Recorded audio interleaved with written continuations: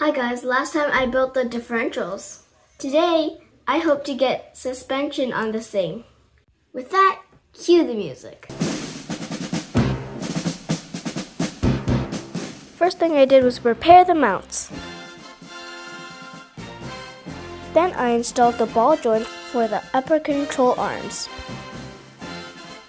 The shock towers went on next.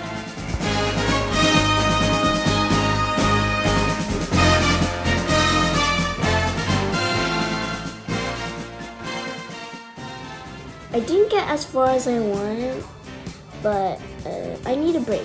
I'll be back. The next day, I ended up mounting the motor.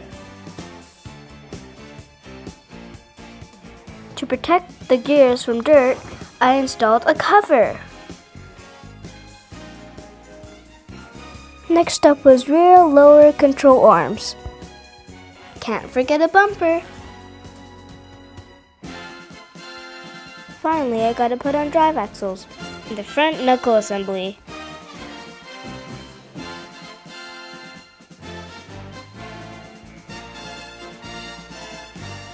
Since this car is all-wheel drive, the back has drive axles too. Once that was done, I put together shocks and springs. Once you mount them, of course you have to test them. This car is coming together, but it still needs wheels. Four of them.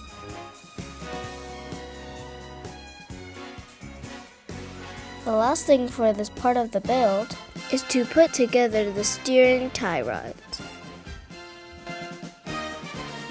I got suspension on, wheels on, and the motor on. Mm-hmm.